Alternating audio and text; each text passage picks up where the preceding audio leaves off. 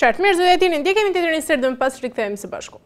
Një seri sulmesh ajrore izraelite kanë goditur kryeqytetin libanez, Bejrut, duke shkaktuar shkatërrim të madh në lagjet jugore të shtetit gjatë natës mes të enjtes dhe të premtes. Forcat e Tel Avivit ndërprenë gjithashtu një kalim të rëndësishëm kufitar midis Libanit dhe Sirisë, një rrugë shpëtimi për mijëra refugjat që po largohen nga konflikti. Në një goditje precize, IDF njoftoi vrasjen e Mohammed Rashid Skafi, kreu i njësisë të komunikimit të Hezbollahut, i cili kishte mbajtur këtë pozicion që nga viti dy mijë. Sipas një deklarate të lëshuar nga IDF, Skafi ishte një figurë kyçe e organizatës e ngushtë me lidershipin e lartë të Hezbollahut. Në një tjetër sulm të rëndë, avionët izraelitë hodhën shtatëdhjetë e tre tonë eksplozivë në bunkerin Al-Maria në lagjen e Bejrutit, që njihet si selia kryesore e inteligjencës së Hezbollahut. Burime izraelite raportuan se Hashem Safieddine pasardhësi i mundshëm i Hassan Nasrallah ndodhej në kompleks së bashku me komandantë të tjerë të lartë. Mirë, zoti Altini, a mund të themi se ka ndonjë ndikim pra ky konflikt në çmimet e energjisë, por edhe furnizimin global me naftë dhe gaz?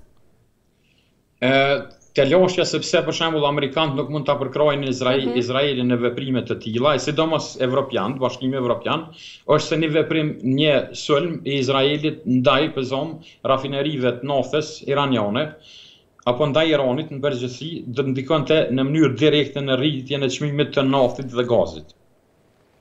Dhe si rezultat domethënë ekonomitë e Bashkimit Evropian do të jenë të ndikuara në mënyrë direkte. Kjo po ashtu do të ndikonte në dhe domethënë e ceka edhe një herë që do të rritet mhm. çmimi mm -hmm. i gazit dhe kjo ndikon në rritjen e të hyrave në mënyrë direkte në rritjen e të hyrave të Rusisë nga shitja e gazit dhe naftës. Qartë. Dhe kjo do t'ia lehtësojë operimin uh, ushtarak Rusisë në territorin e Ukrainës.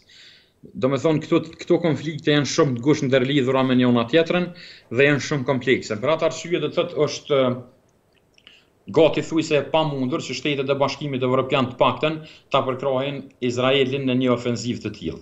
Ëh, çmimet mund të rriten, do të thotë tash i kemi dikun Mund të shkojnë në Shqipëri, ju i keni po ashtu të larta, mhm, çmimet e naftës, që ju, që ju, ju interesojnë qytetarëve, por mund të rriten për 30 deri të paktën deri në 50% në mhm. qoftë se ndodh një sulm i tillë në i, i përmasave të mëdha në Iran.